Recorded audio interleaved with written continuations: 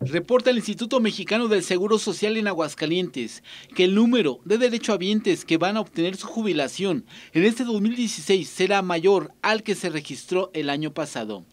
Creo que este es un hecho muy importante porque definitivamente representa ya la oportunidad a todos nuestros pensionados de olvidarse prácticamente de estar yendo cada seis meses al instituto como lo hacían antaño para decir presente y aquí estoy, y yo creo que es un enorme, enorme beneficio para nuestros pensionados.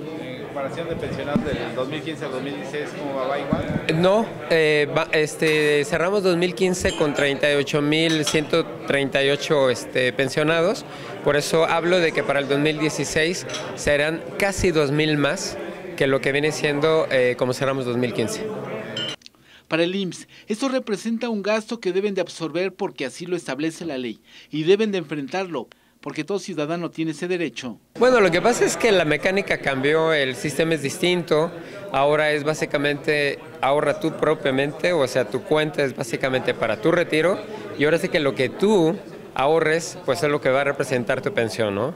Entonces de ahí que por eso es muy importante que desde un inicio cuando se, se arranca el proceso de tener una FORE y tener una cuenta individual para mi retiro, pues haga aportaciones voluntarias para que al, al momento en que me toque irme, realmente tenga yo la posibilidad de tener una, una pensión, digamos, digna, ¿no?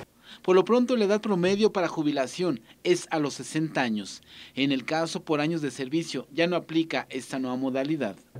Con imágenes de Jesús Hernández para Informativo, Jesús Peralta Medina.